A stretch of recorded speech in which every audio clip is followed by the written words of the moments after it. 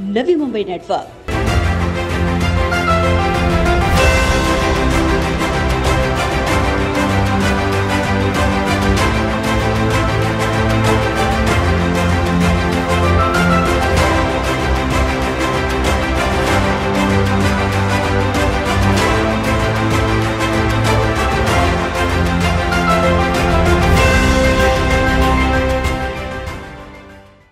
राष्ट्रवादी कामगार संगठन के माध्यम से एनसीपी महासचिव प्रशांत पाटिल के हाथों आज उरन द्रोणागिरी के करीब गैड लॉजिस्टिक प्राइवेट लिमिटेड द्वारा संचालित पंजाब सरकार के अधिकार क्षेत्र में संचालित Punjab Conware Punjab state container and warehousing corporation limited company में राष्ट्रवादी कामगार संगठन के नए यूनियन की स्थापना कर यूनियन के नाम फलक का उद्घाटन सम्पन्न हुआ। जहाँ इस अवसर पर यूनिट के अध्यक्ष विकास यादव, उपाध्यक्ष दीपक खंडांगले, यूनिट सचिव कादर पटेल आदि तमाम एनसीपी कार्यकर्ता और राष्ट्रवादी कामगार संगठन के पदाधिकारी मौजूद रहे। बता दें कि इस नाम फलक के उद्घाटन के दौरान कंपनी के कुल एक कर्मचारियों ने राष्ट्रवादी कामगार संगठन की सदस्यता को ग्रहण किया। इसके चलते प्रशांत पाटिल ने कामगारों को ये भरोसा दिलाया कि एनसीपी कामगारों के न्याय हक की जंग में सदैव उनके साथ मजबूती से खड़ी रहेगी। इतना ही नहीं, उन्होंने गैट लॉजिस्टिक प्राइवेट लिमिटेड कंपनी से ये निवेदन किया कि कंपनी में पागोटे ग्रामस्थों को नौकरी में प्राथमिकता देकर उन्हें नौकरी पर रखा जाए। खऱ्या अर्थाने ज्या शेतकऱ्यांनी प्रकल्पस्थाने या ठिकाणी जमिनी दिलेल्या प्रथम प्राधान्याने न्याय मिळणं आवश्यक आहे. प्रथमतः या पागोटी गावातील ग्रामस्थांना जे कामगार काम करतात, त्या प्रथमतः या कामावरती का घेणं जरुरी आहे. प्रथम प्राधान्याने त्यांना नोकरी द्यावी. आणि जे त्याप्रमाणे काम वाढेल त्याप्रमाणे उर्वरित असणारे सर्व कामगारांना या गॅड लॉजिस्टिक कंपनीने आतमध्ये घ्यावं अशी त्यांना या ठिकाणी मी विनंती करणार आहे. उन्होंने आगे कहा कि कंपनी के ओनर को लॉजिस्टिक फ़ील्ड में काम करने का बेहतरीन अनुभव है और उन्हें विश्वास है कि कामगारों को न्याय ज़रूर मिलेगा।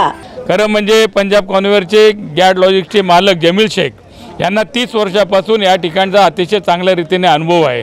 गेले तीस वर्ष या ठिकाणी सेपेज हँडलिंगचं काम या ठिकाणी ते करत आहेत. आणि खऱ्या अर्थाने एक प्रकल्पग्रस्तांना ची जाण असणारा जमील शेखसारखा एक या ठिकाणी असणारा उद्योगपती या ठिकाणी काम करतोय. आणि तो या ठिकाणच्या सर्व लोकांना न्याय देईल.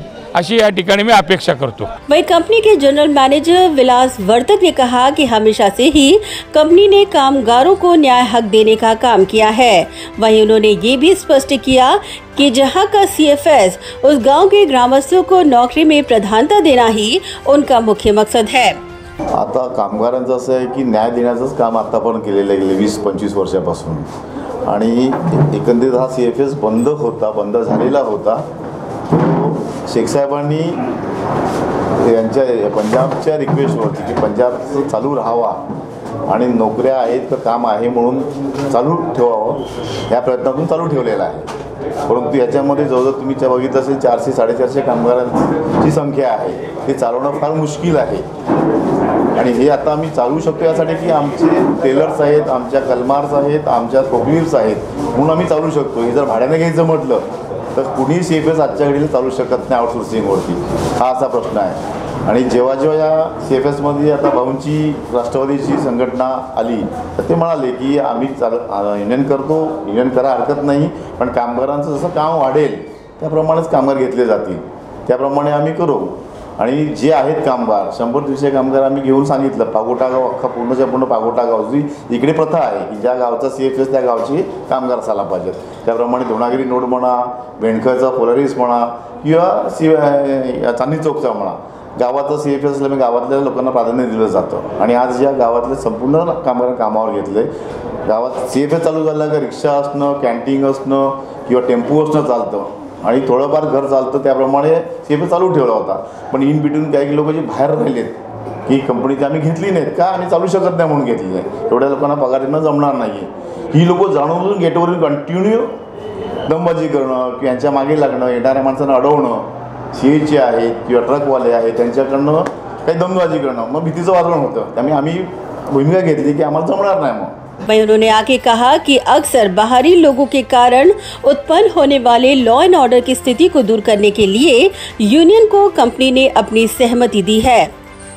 ही जी काम जे चालू करू। जी खरोखर पद्धत आहे की ज्या गावचा सी एफ़ एस त्या गावची माणसं असायला पाहिजे आणि पन्नास गरज असतानाही काम कामावर घेतलेल्या कंपनीने. अशी परिस्थिती आहे. शंभर सव्वाशे लोकांना. ओके? तर तुमचं पण सहकार्य पाहिजे. काम कामगार कोणाला नको आहेत? कामगारांनीच काम होतं. पण तो कामगारांची संख्या किती असायला पाहिजे? त्याचं एक प्रमाण आहे कामाच्या प्रमाणात. आज डी पी डी आहे इम्पोर्ट आहे त्याच्यावरती कामगार लागत नाही. कामगारांचं होणारं काम जे आहे कंटर भरणं आणि कंटर खाली करणं अतिशय अत्यल्प आहे फार कमी आहे. तर पन्नास लोकांमध्ये दहा फोकली ऑपरेटर म्हणा अशातच काम होतं. आणि हे, त्याप्रमाणे घेतलेली माणसं आम्ही काम करतो बाहेर राहिलेली माणसं दंबाजी करणं दहशत करणं हे करतात. आणि गाव लेवलला थोडंसं गाव लेवलला एखादं दंगा होऊ नये पोलीस प्रोटेक्शन पण आम्ही घेतलं. तुम्ही बघितलं असेल. लॉ ऑर्डरचा प्रश्न येऊ नये म्हणून आम्ही केलेले आहे ब्युरो रिपोर्ट नवी नेटवर्क.